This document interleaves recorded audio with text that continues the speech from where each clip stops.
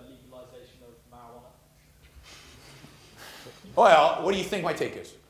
That is good. Yeah, well, I mean, I, I'm not an advocate for smoking marijuana, but I'm an advocate that you have a right to smoke marijuana, certainly after a certain age. Um, but I would go further. I know you didn't ask the question.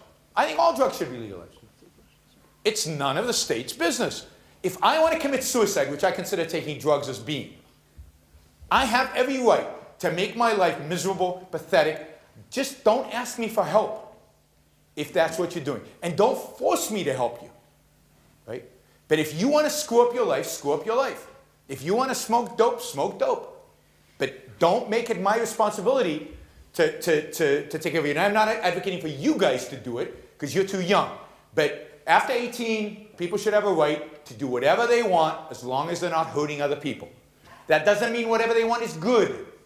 It just means they have a political right to do it. A lot of things people do, a lot of things people do are bad for them.